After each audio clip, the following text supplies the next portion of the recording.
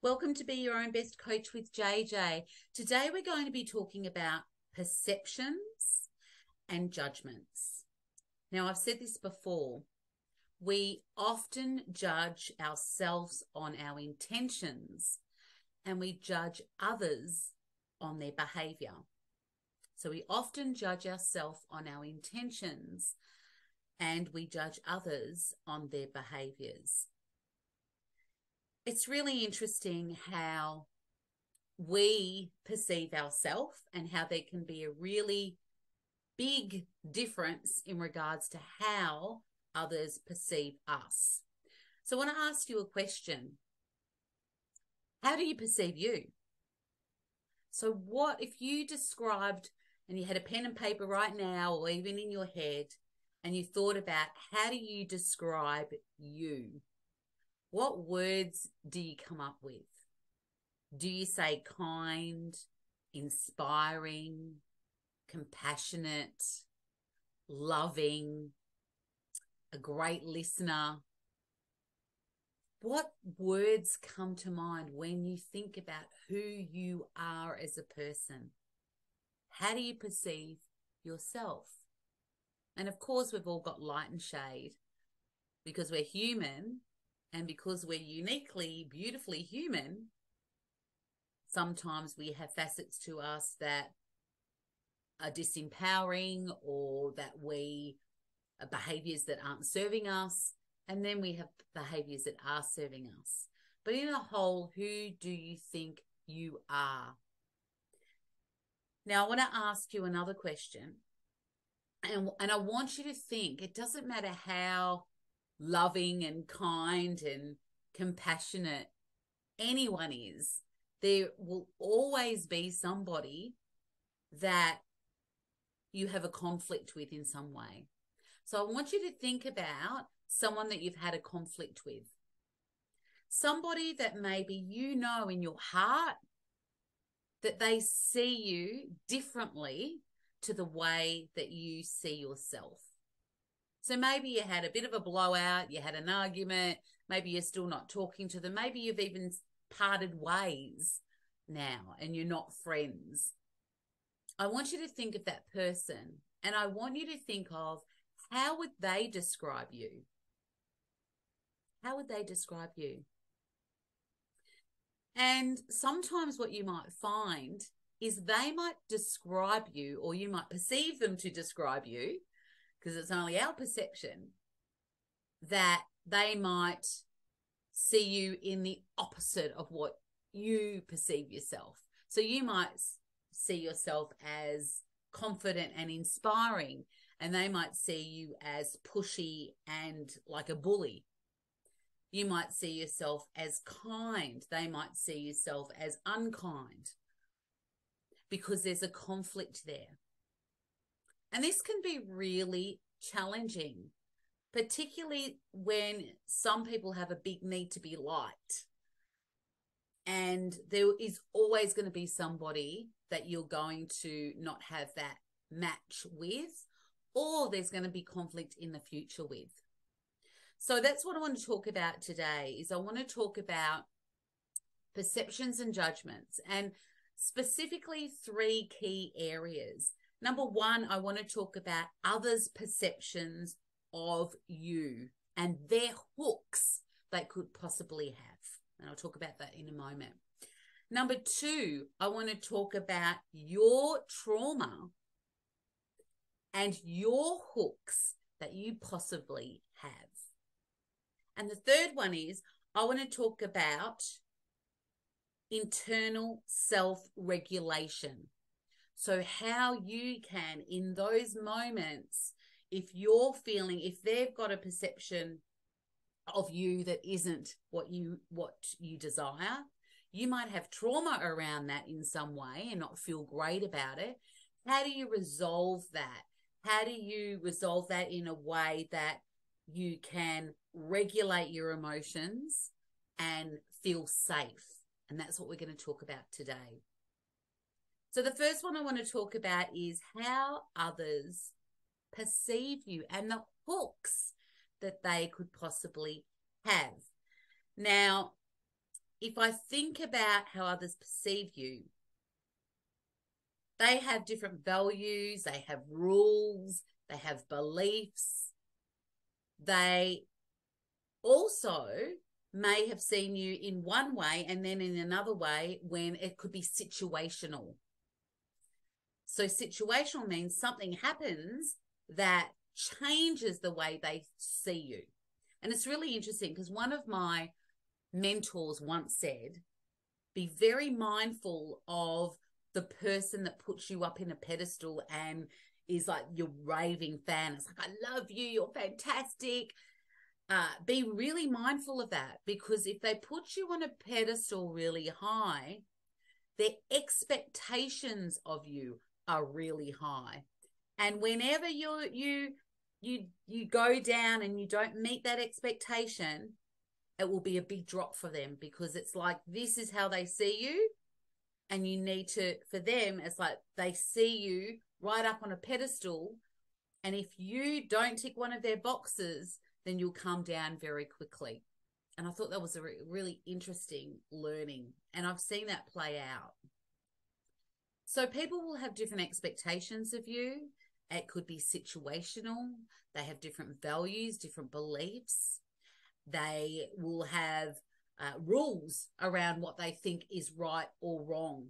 And the other thing is they could have hooks from their past that has nothing to do with you. And I love language.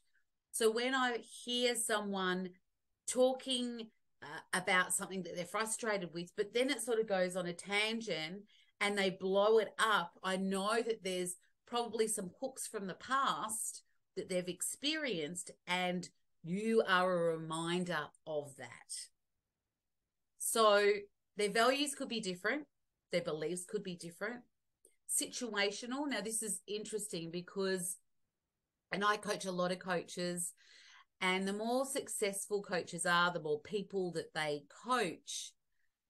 If you've coached thousands of people, you will encounter a, a situation at at one stage where there's going to be conflict or disagreement. And I remember there was a student that went to one of my classes and she did the course and she absolutely loved it so much so that that night she did a video on Facebook, which I didn't even ask her to do. I didn't know it was going to happen. And she tagged me in it and it was this whole big video to say it's life changing all that sort of stuff. And and so again she's put me up on this pe- pedestal. And so she went on about this and then she also wrote wrote me a testimonial as well. And this was after the course and it was all fantastic now this person was on a payment plan and about a month down the track this person encountered some financial difficulty. Now, this is when the situation changed because she then contacted me and said, The course that I did wasn't what I thought it was going to be, and I really knew all that stuff. And it threw me because I'm like, Is this the same person that did that video, that did the written testimonial? And now, after the fact, a month later, when she's got financial difficulty, she's then looking at stuff that she's saying that she didn't like in a situation so that she can not make any more payments because she was in a predicament. And so that is an idea of situational, where something will change, a situation will change, and therefore their thoughts and perception of you changes. Now, as I said, there could be hooks from the past. They might see something you that you do that that unconsciously remind them of something in their past. So you might have something or say something and it reminds them of when they were young and they were bullied at school and it triggers that sense of trauma for them. And so therefore they go back to that state and you're part of that state. So be really mindful of that. That can absolutely happen and people's it's challenging right because particularly if you're someone that has a, a huge need to be liked if someone is you've got this perception of who you are And then you've got this other person that's got this perception of who they think you are, and it's completely different.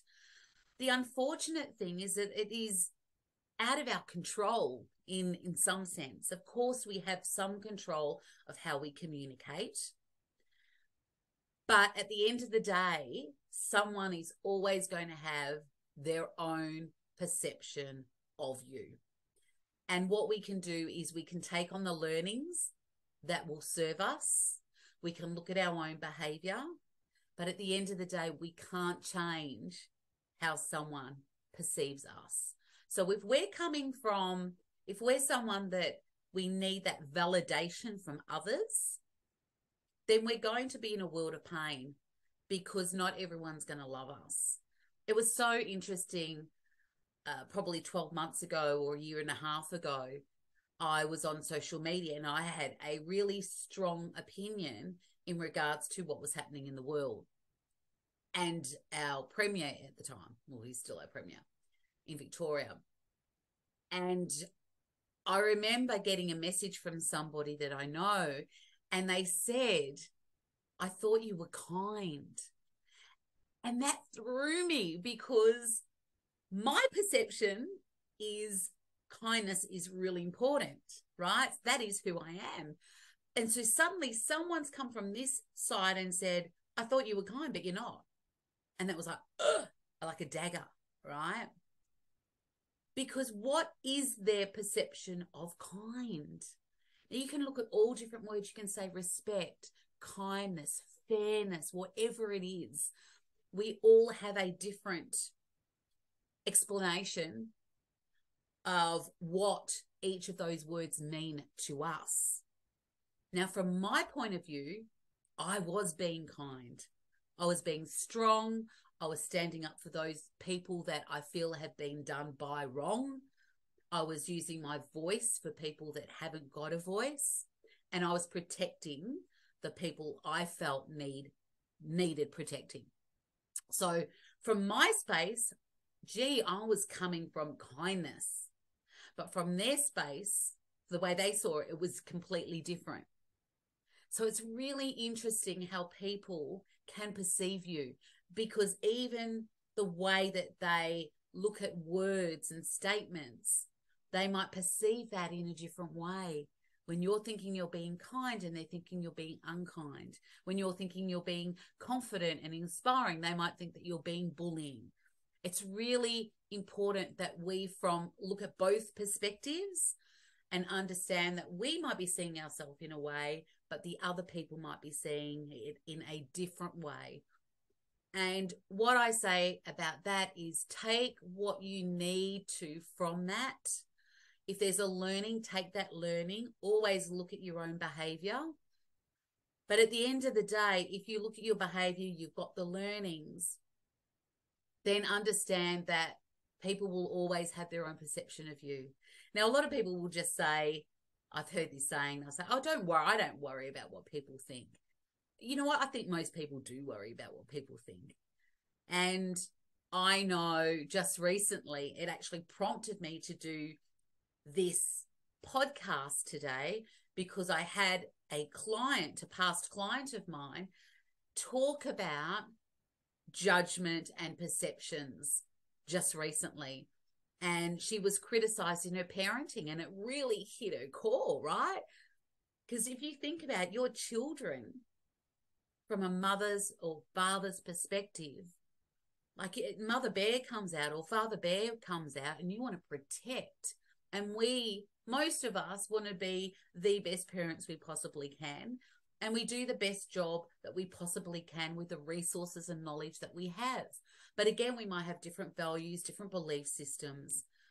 And then someone outside has then judged this person.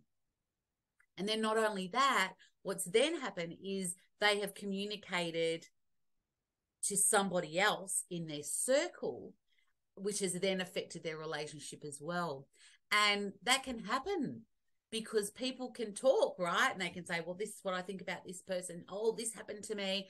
And they talk to someone else to taint you or paint you in a certain light. I remember I used to be in a, a networking group called BNI, which is a fantastic group. And I was a treasurer there. And I remember when I first started, I used to get lots of people coming up to me and they would want to gossip about somebody. So they would say, Oh, I need to tell you about such and such. And they did this and they're this type of person. And the first thing I would say to them is, You're talking to the wrong person. You need to be speaking to that person about how you feel right now. And then whatever they said is not my interpretation of who I think that person is that they're talking about because I maybe have not experienced that.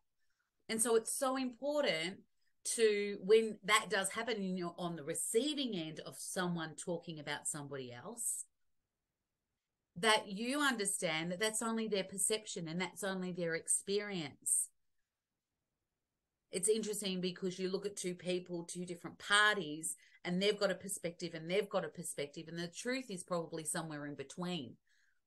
So when you're talking to someone and they're talking about someone else, you're only getting their perspective. If you talk to the other person, they're going to get a completely different perspective. And so it's important for us to have those experiences ourselves so that we can, for ourselves, understand what type of person that is and surround yourself with people that have your back. And I think that's so important because when you have people like that, it's interesting. I had a client and they asked me a question and they said, they said about friends of theirs that bagged their husbands, right? So they said, Oh, you know, and that's what we do, right? That's what, you know, all, all our friends bag husbands. And I said, Not my friends. And they were like, What? And I'm like, Not my friends. The friends I hang around with don't do that. They don't bag their husbands. That isn't what they do. And so it was really interesting to see the tribe and the people that they hung, hung around with that then had that influence. So be very mindful of people's perceptions of other people that you're not taking them on board. So that's number one. The number two is your trauma. So any hooks that you have. So it was really interesting. Just yesterday, I had a challenge at in my business. And my challenge it was so interesting because what can happen is others perceptions of you they can make assumptions of you right and this person had said to me, Well, it's okay for you. You've got a multi million dollar home. And I was like, You know nothing about me. You know nothing about me. And I have clients who have the beautiful house, the beautiful car, the Louis Vuitton bag, and they might have relationship problems. They could have their own mindset problems, anxiety problems. They could have financial problems. People don't know. And so be really mindful of that. And so your trauma can come up from other people's perceptions. And what I mean by that is that they can say, This is what I think of you. And that can be a hook. That can be a hook of trauma. Something happened in your life and you feel it in your body now, when I say trauma, there's lots of different types of trauma. There's acute trauma, so it could be a big one event, so it could be a car accident or somebody was sexually assaulted or something like that. But it could be one trauma could could it could happen to someone and it may not be someone else's trauma. So it could be anything that's happened in your life that's that's made you not you know retreat and it's gone into your body and so, what can happen is when someone triggers that hook and they say, This is who you are, and it triggers that hook that's that was trauma in the past, that can be really tough and really challenging to deal with. So be really mindful of the hooks that you have. And I remember I did a big event once in Geelong and this event was going off. Everyone was having a great time. And then someone put their hand up, and the first thing this lady said was, JJ, I'm disappointed in you. And And it felt like someone had got a knife and stabbed me in the heart. It really did. Because disappointment was one of my hooks. I didn't want to disappoint. And so when she said that, I could feel it in my body. And then I asked her to tell me more. And then she went on to say that because I had images of kids, boys, in my presentation, she was disappointed because she thought that I was more about empowering women, not men. And then I had to explain that it's all that I empower men and women. And so it was a, an interesting uh, belief system that she had. And so we explored that in the room. But when she said that, I'm disappointed in you, I felt it. Now that was a hook. So be mindful of that. And yesterday there was a hook that went to my heart. And it was one of those hooks that it was like, oh, that isn't who I am. And I'm sure everyone listening or watching would have experienced that. That you have someone out there, you may still have someone out there today that you know sees you differently to how you see yourself. And you may not be able to change that. But that's just life. And you've got to take that as a learning. And as I said, make sure that you internally can resolve that. And we're going to talk about that with number three. So, number three is our internal self regulation. How do we regulate ourselves when we don't feel safe? So, when somebody has got a perception of you and then triggers you in some way, gets that hook and maybe meet some trauma within you and you're feeling really heavy about it, how do you then resolve it in your body? Now, there's lots of different ways you can do that. And I, I, I want you to really think about a situation in your life when someone said something and you just, it's like you can't shake it. You feel it in your body, in your heart, maybe in your gut, maybe in your head, somewhere in your body you feel it. We need to have a strategy in that moment so that we can move through that and regulate it. It's really interesting. I saw a video with a deer, and it was this deer in the wild, and this lion chased this deer, got it in its mouth, and laid it down and had this deer in its mouth, and the deer played dead. And so the deer played dead, and eventually the lion walked away. Now the interesting thing is the the deer stayed there for a while. And then what happened was the deer started shaking and it was shaking all over. And it was like shaking off. It was trying to regulate itself because it just had a traumatic experience. It nearly died. And so it shook itself off and shook itself and shook itself. And then it stood up and then it ran away. We have trauma in our life that we're not shaking off, that stays in our body, and we get this hook and it comes back. And it might be because we were told maybe not to cry as a child, or we've just suppressed these feelings and we haven't. In trauma, it's like doing that whole loop, that cycle of finishing that trauma and experiencing that trauma so it stays trapped in your body. And so when we feel that way, we need to have a strategy. And so there's different strategies that we can have. So it could be breathing strategy. It could be getting up and moving and doing something with your body. It could be going out into nature. So interesting yesterday when I felt that hook and I felt physically sick. I felt really sick because someone had perceived me in a way that was so opposite to who I am. And I felt physically sick. And my son said to me, Mum, go for a walk to the beach and pat a dog. and you know what? He was exactly right because the beach nature is my happy place. And so I was out there in the beach, and my other happy place are dogs. And so I went out there. I had the sun on my on my skin. I had the beautiful sea breeze. And I went to the to the beach, which is just five minutes walk from our house. And I found a dog. And I patted that dog. It was someone else's dog. But I went up to it and I had a nice little pat and a little cuddle. And I felt so much better. And that helped me. So there's different straight. It could be that you get a journal and you write it all down and you get it out of your system. It could be go for a walk, go for a run. It could be ring a friend that you trust, that you know will support you. It could be have a big cry or get angry and actually punch your pillow.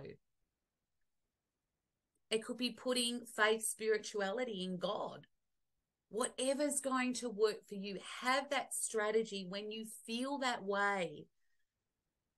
When you feel that way, have that strategy that's going to support you. Now, I can't remember the last time I felt like that. I'm so fortunate because I work with amazing people. I work with the best people, and it hasn't happened for a, such a long time that I've ever felt that way. But it hit me hard yesterday it really did because I felt this disappointment. I felt that someone saw me in a light that wasn't who I truly am. And it, it really was in my body and I had to shake it out. And so it's really important for your trauma to be able to have that strategy. So, again, I'll go back to the three points. The first point is others' perceptions of you. It's their hooks, their beliefs, their values. It could be situational. It could be huge freaking assumptions that they have about you that are not correct. It could be that they're they're looking a value or a word like respect or trust or whatever and seeing it completely different or kindness completely different to you.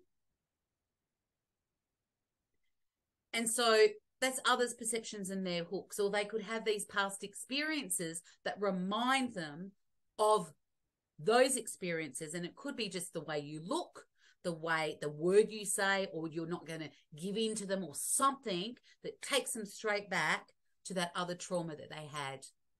And it's not all about you, but you don't know about that yet, or you may not ever know about that.